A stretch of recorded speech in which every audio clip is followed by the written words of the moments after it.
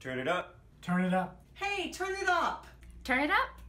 From the world of science just this month, we've learned that marine systems are warming at a faster rate than scientists imagined.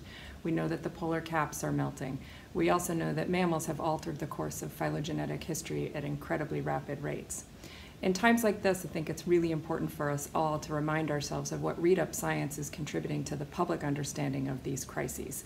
In the pages of our incredibly diverse portfolios of books and journals, we illuminate what's at stake in the natural world and have a lot with which we can inspire change. Please remind everybody to read up science, to turn up attention to the world and the conservation and resilience efforts that we all need to make continue to evolve those programs and celebrate the diversity therein.